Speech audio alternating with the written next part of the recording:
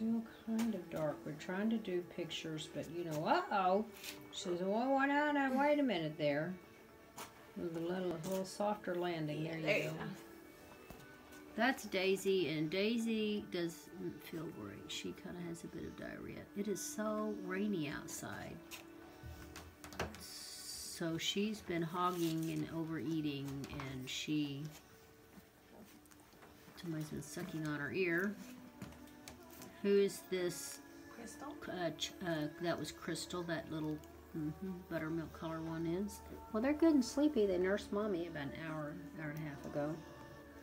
So, they're using down there. All right.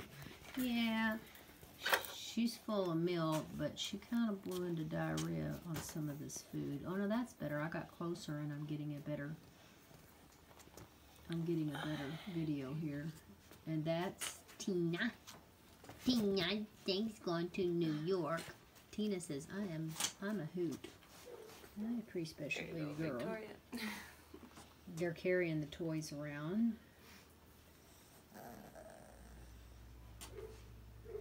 So that's not all of them. I got six girls. She got one more. Okay. Um, What's your name?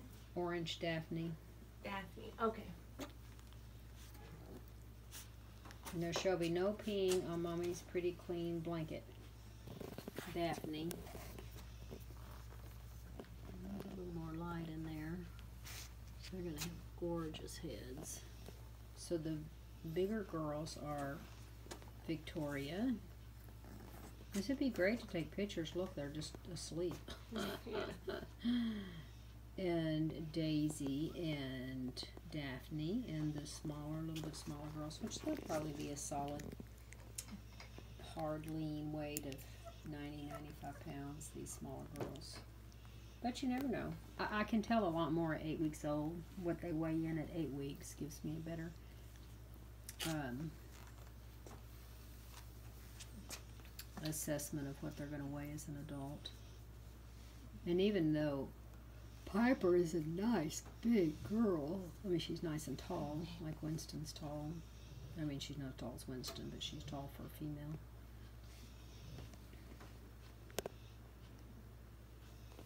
Tina, some my tiny Tina. They're really good sleepy. They have been eating uh, kibble too.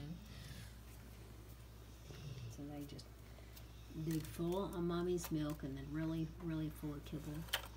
All right, we're gonna. Oh, that was gonna play with the toy truck, huh? Mm-hmm. What do you think, Victoria? um,